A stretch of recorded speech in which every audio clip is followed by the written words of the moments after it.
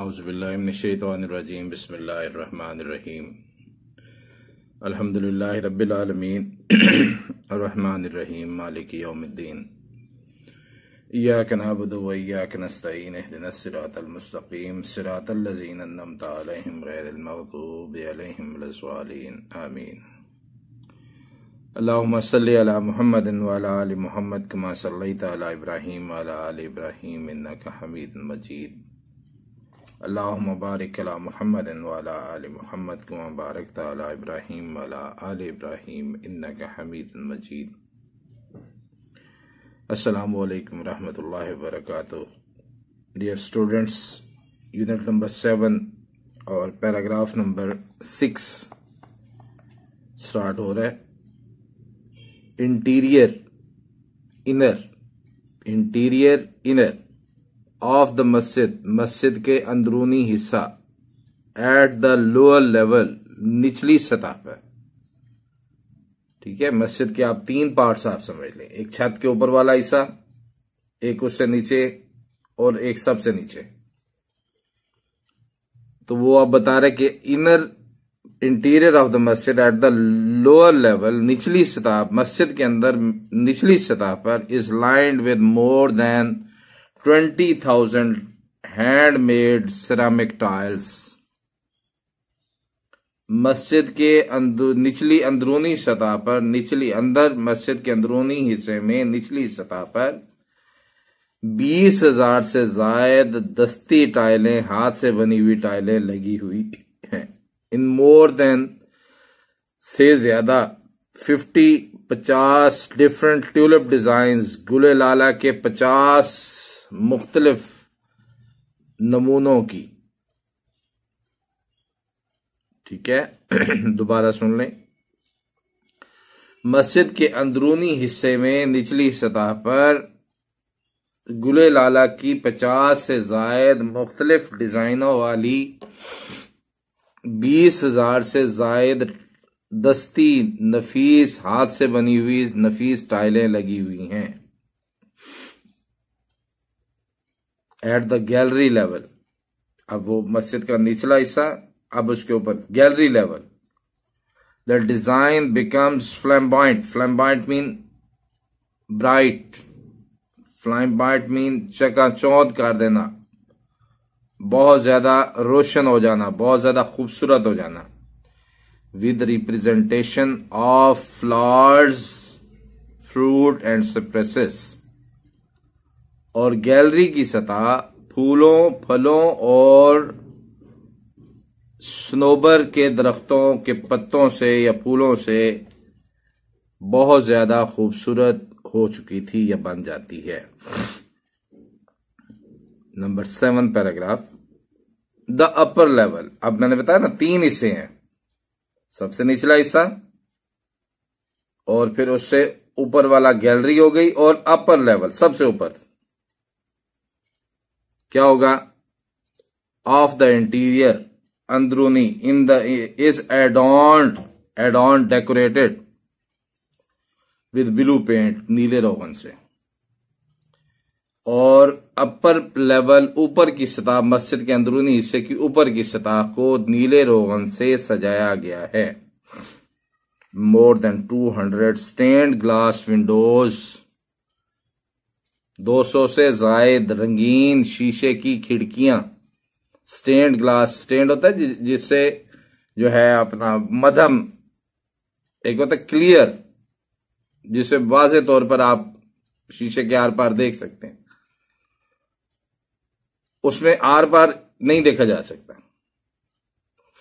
लेकिन रोशनी उसमें से रिफ्लेक्ट जना रिफ्रैक्ट होती है, गुजर सकती है।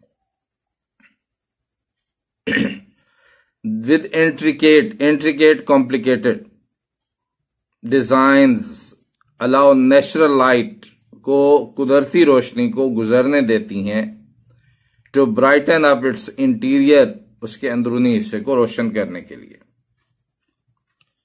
कहते हैं मस्जिद के अंदरूनी हिस्से की ऊपर की सतह को नीले रोगन से सजाया गया है। और 200 से जायद रंगीन शीशे की खिड़कियाँ, पेचीदा डिजाइनों वाली शीशे की खिड़कियों से कुदरती रोशनी अंदर आती है और अंदरूनी हिस्सों को मुनवर कर देती है, रोशन कर देती है। एंड द और फानूस। फर्दर मजीद। इल्यूमिनेट रोशन करना। इल्यूमिनेट रोशन करना। With its glow glow mean चमक ब्राइटनेस और इसका फानूस अपनी चमक से इसे और ज़्यादा रोशन कर देता है। द डेकोरेशंस सजावटें include ayat from the holy Quran और इन्हीं सजावटों में कुरान पाक की आयात भी शामिल हैं। द फ्लॉर्स फ्लॉर्स फर्श आर कवर्ड विद कारपेट्स कालीनों से ढके हुए हैं. यानी फर्शों पर कालीन बिछे हुए हैं. Number eight the most important element in the interior of the masjid मस्जिद के अंदरूनी हिस्से की सबसे खास बात, सबसे अहम बात क्या है? इज़ द मेहराब वो मेहराब है। Which is made of finely carved marble carved मुनक्कश किए गए। जिन पर नक्श निगारी की जाती है। C A R V E carve तो कहता है कि इसके अहम, सबसे अहम बात इसका मेहराब है, जो उमदगी से तराशे गए, उमदगी से मुनक्कश किए गए, संगे मरमर से बनाया गया है। To the right of the मेहराब मेहराब के दाएँ जानब is a richly decorated pulpit एक खूब सजा हुआ रिचली बहुत ज़्यादा सजा हुआ मिंबर है ये मिंबर है वर्ड मिंबर ये मैं स्क्रीन पर डिस्प्ले कर रहा हूँ ये मेंबर नहीं है मेंबर अंग्रेज़ी का वर्ड है M E M B E R वो अंग्रेज़ी का वर्ड है वो मेंबर है, ये मिंबर है मीम नोन बेरे, ये अभी बताऊँगा मैं, दिखा रहा हूँ, ये देखें। द मस्जिद मस्जिद के सॉरी मेहराब के दाएँ जाने पर खूब सजा हुआ रास्ता मिंबर है। The masjid is so designed मस्जिद को इस तरह डिज़ाइन किया गया है, इस तरह बनाया गया है दैट इवन वेन हत्या के जब इट इज़ मोस्ट क्राउडेड जब बहुत ज़्यादा भीड़ हो रश हो एवरी वन कौन सा प्रोनाउन है?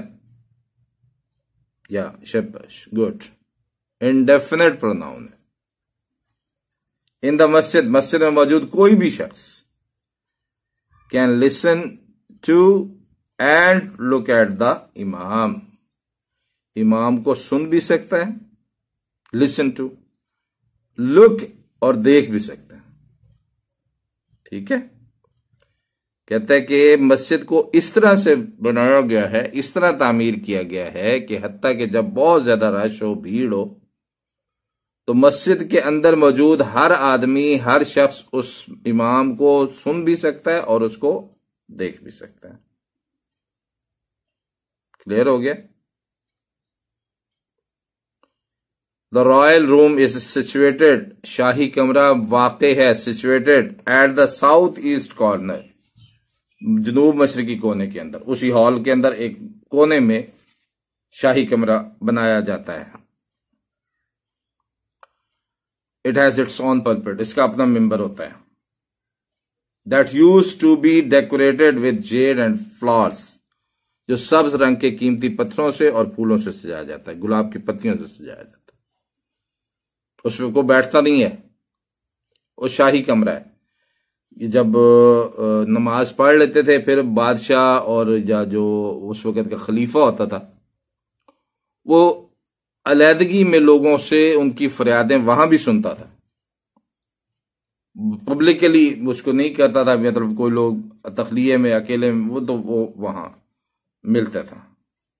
उसका अपना एक मेंबर था, जो सब्ज रंग के कीमती पत्थरों और गुलाब के फूलों से सजाया जाता क्वेश्चन है where is royal room situated yes आपका पहली लाइन में उसका जवाब मौजूद है। The royal room is situated at the south east corner the blue masjid has six minarets छह मीनार है। वीडियो में भी आपने देखा था पहली उसमें। Four minaret stand on each at the four corners of the masjid चार मीनार मस्जिद के चार कोनों में वाक़ होते हैं। आप अपने घर को देखेंगे ना, उसके चार कोने होंगे। ठीक है? वो चार मीनार तो वहाँ आ गए। और जहाँ आपका मेन गेट लगा हुआ है, उस जगह को अगर आप स्पेसिफिक कर लें, और जिस जगह आपका गेट शुरू हो रहा है, जहाँ खत्म हो रहा है, उस जगह को अगर आप कंसिडर कर लें, मैं आपको समझाने के लिए बता रहा तो वो दो मीनार उधर लगे हुए ठीक है? चार मीनार मस्जिद के चारों कोनों पर एक एक वाक्य है। Each of these pencil shaped आपके मीनारों को देखा होगा कि हमेशा एंड पे जाके वो नोक बन जाती है। कहता है, हर एक पेंसिल नुमा मीनार हैज़ थ्री बल्कनीज इनकी तीन तीन राहदारी हैं। ठीक है?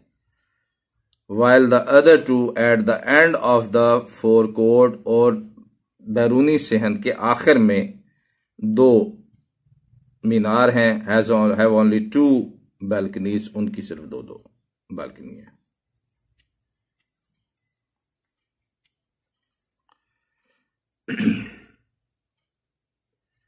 इन द इवनिंग शाम को लास्ट पैराग्राफ है। एडवर्ब है। देखें, पहले लगाया हुआ है तो कॉमा लगा हुआ है। ये वो एडवर्ब्स होते हैं जो एंड पे लगाए जाते हैं।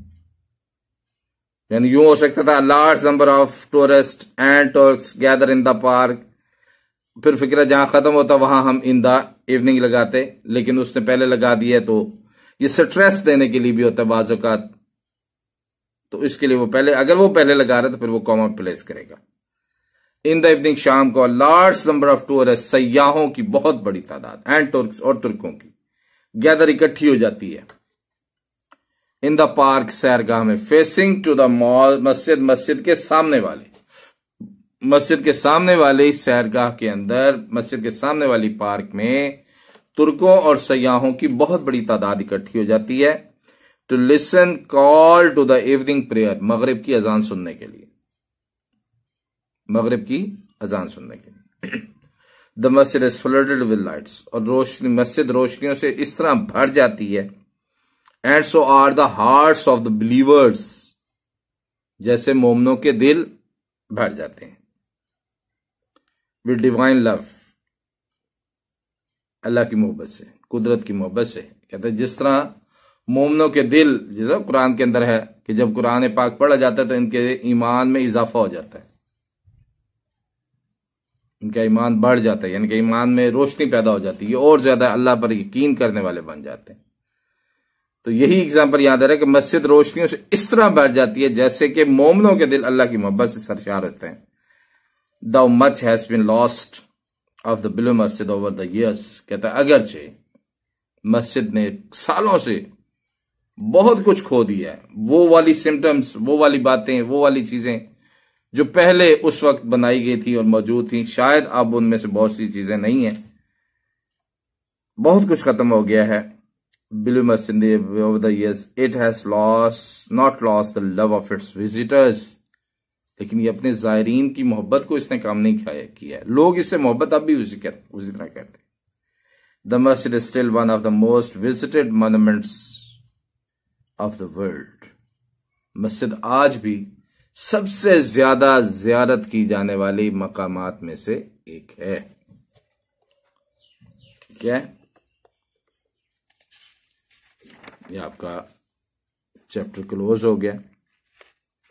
अल्हम्दुलिल्लाह। नेक्स्ट इंशाल्लाह हम इसके एक्सरसाइज को देखेंगे। आपका जो अब आपका काम है, वो इसके ये जो शॉर्ट क्वेश्चंस हैं और एक्सरसाइज के क्वेश्चंस हैं, ये आपने सॉल्व करके सेंड करने हैं मुझे। Thank you very much Allah निगेबान अल्लाह की अमान, अल्लाह हाफिज़।